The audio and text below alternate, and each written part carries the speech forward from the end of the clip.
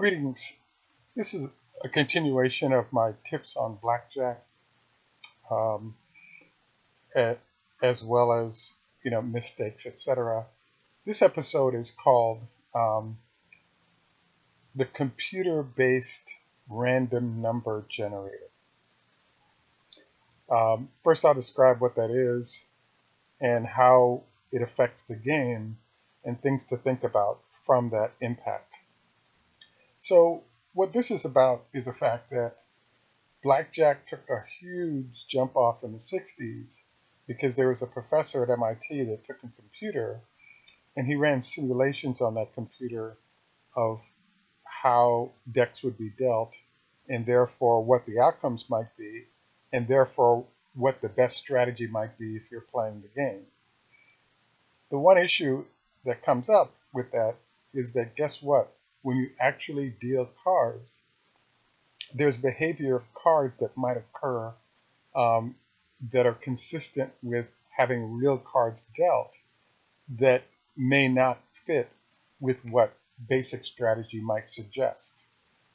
So as you play more hands of blackjack, you'll notice that there are things you were told to do as part of basic strategy, but you'll notice by watching the cards that they were over time things that you develop as new ideas, different ideas that deviate from basic strategy based on your empirical or observed experience. So one of them that I wanted to cover that I thought was fascinating is I had an encounter probably eight or nine years ago at Fox, a place called Fox, Foxwoods in Connecticut. What happened was I arrived at the casino and I was feeling a little bit overwhelmed because I had a small bankroll, maybe two or three hundred dollars. And I went to a table where there had been a huge amount of winning happening, particularly in the seat that I was sitting in. So the whole feeling was that the guy who had won a bunch of money, maybe he'd won three to five thousand dollars, I hadn't seen him, uh, had left. And then I sat down in the seat. And a couple of people were like, well, he won a bunch of money and then things kind of mellowed out on him. And that's when he decided to leave. And so I was like, oh, wow, interesting. Uh, too bad I wasn't there to be the winner. What then proceeded to occur was that a new shoe was put in. And then I went on like a $2,000 run of profitability over maybe a half hour, 45 minutes. And I was shocked to see the, the cards roll out in a profitable manner for myself. Um, another aspect of this was that after he had left, I wanted to say that there may have been one more seat that opened up. It may have been one, but it may have been the same number of people, except for the change of me taking that seat. Um, I'm bringing this up to you because what you'll notice is that there'll be people sitting in one seat and that person will start winning like crazy. The area I was playing at was a shoe-based game. And in the case of my shoe, they had a machine going where while we were playing, the, the previous shoe was being, um, uh, a computer was actually shuffling those cards.